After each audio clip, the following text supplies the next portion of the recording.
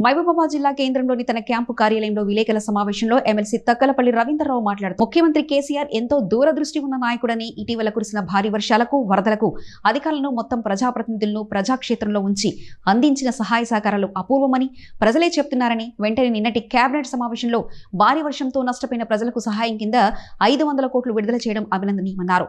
ప్రత్యేకంగా మహబూబాబాద్ జిల్లా అభివృద్ధికి కంకణం కట్టుకుని జిల్లా ఇవ్వడం దగ్గర నుండి మెడికల్ కళాశాల ఇప్పుడు హార్టికల్చర్ డిగ్రీ కళాశాల త్వరలో ఇంజనీరింగ్ కాలేజ్ నిర్మాణం జరుపుకున్నామని ఇలాంటి బాధ్యతాయుతమైన కార్యాచరణ అభివృద్ధి కాంక్షితుడు అయిన ముఖ్యమంత్రి కేసీఆర్కు కేబినెట్ మంత్రులకు ఈ సందర్భంగా బీఆర్ఎస్ పార్టీ తరఫున ప్రజల తరఫున ధన్యవాదాలు అభినందనలు తెలుపుతున్నామని అన్నారు.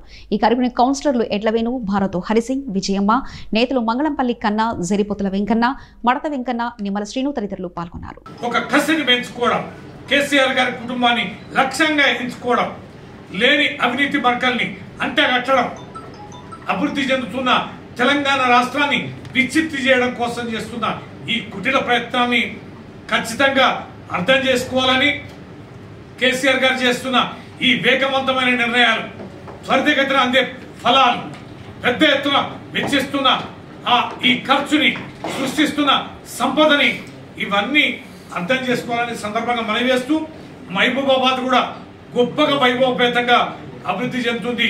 అనేక విద్యా సంస్థల్ని మనం సాధించుకుంటున్నాం. సాధించుకుంటున్న ఈ విద్యా సంస్థలకి అనేక మౌలిక వసతులు అందించడానికి ఇక్కడ ప్రజాప్రతినిధులుగా మేము కూడా తీవ్రమైనటువంటి కృషి చేస్తున్నాం. ఈ ప్రాంత అభివృద్ధి కోసం తప్పిస్తున్న మాకు పూర్తి స్థాయిలో ప్రజల మద్దతు ఉండాలని కేసీఆర్ గారికి ఉన్న ప్రత్యేకమైనటువంటి మైబాద్ ప్రాంత అభిమానాన్ని అర్థం చేసుకోవాలని సందర్భంగా మనవి చేస్తూ నిన్న కేబినెట్ చేసిన నిర్ణయాల అన్నిటి కూడా స్వాగతిస్తూ ఒక అపూర్వమైన చరిత్రలోనే మర్చిపోలేని ఒక మైలురాయిగా నిన్నటి నిర్ణయాలన్నీ కూడా ఉన్నాయని సందర్భంగా చేస్తూ ముఖ్యమంత్రి గారికి కేటీఆర్ గారికి యావత్ క్యాబినెట్కి కి తెలంగాణ ప్రభుత్వానికి ఈ సందర్భంగా భారత రాష్ట్ర సమితి తరఫున మైబాద్ ప్రాంత ప్రజల తరఫున కృతజ్ఞతలు తెలియజేస్తున్నాం. జై తెలంగాణ జై కేసీఆర్.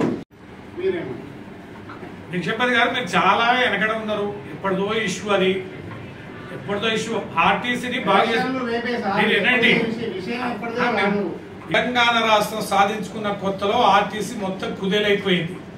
దివాలా తీసింది వందల వేల కోట్ల రూపాయలు అప్పుల్లో కూరుకుపోయి ఉన్న ఆర్టీసీని మొదలు రక్షించుకుందాం. క్రమేణా ఆర్టీసీని బాగు చేసుకుందాం అన్నప్పుడు కాస్త ఓపిక లేని ఇతర శక్తులు దాంట్లో జొచ్చి కార్మికులను తప్పుదోవ పట్టించడం జరిగింది. తర్వాత కార్మికులు అర్థం చేసుకున్నారు. ముఖ్యమంత్రి గారు సహకరించారు.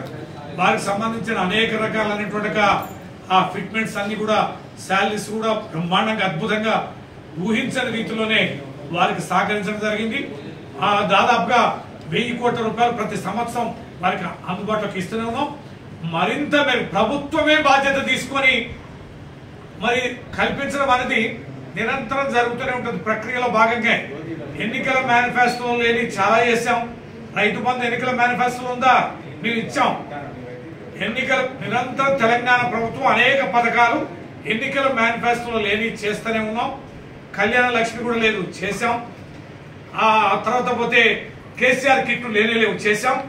మేము చేసుకుంటూ పోతూనే ఉంటాం. వరంగల్ సెంట్రల్ జైల్ ఆగ మేఘాల మీద కూల్చేసి అద్భుతమైన ఇరవై ఆరు అంతస్తులతోటి రెండు ఇరవై లక్షల పైన కెపాసిటీ తోటి అద్భుతమైన ఎయిమ్స్ స్థాయి హాస్పిటల్ కడుతున్నాం. ఎన్నికల మేనిఫెస్టోలో పెట్టామా?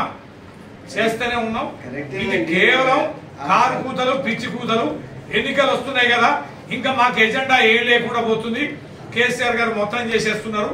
ఏ ముఖం పెట్టుకుని ఓట్లు అడగాలి. ఎలా కేసీఆర్ గారిని ఎదుర్కోవాలని జవాబు చెప్పలేని ప్రతిపక్ష విపక్ష పార్టీలు చేస్తున్న వికృత బేలతనం తప్ప మరొకటి